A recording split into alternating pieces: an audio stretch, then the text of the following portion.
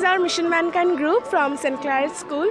We collect money from our school students. Uh, we collect money from our school students and outside, if, if anyone wants to contribute. And at the end of, of the year, we go to different old age homes and orphanages and we contribute them the money and some food or clothes, everything that they need.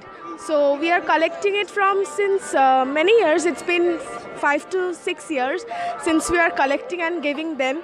It's our uh, it's our pleasure to uh, help them who are in need. We have something in excess, so we should uh, always uh, contribute it. We should give it to them who are, who needs them, who needs it.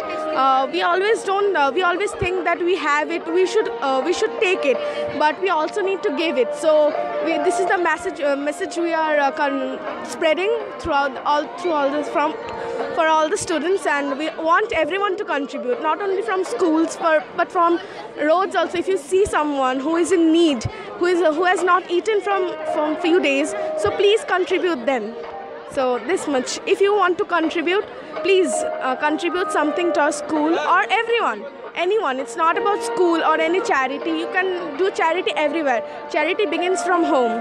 Thank you